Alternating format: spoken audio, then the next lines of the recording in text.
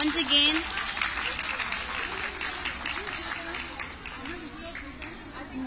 Okay, next time again. Again sabi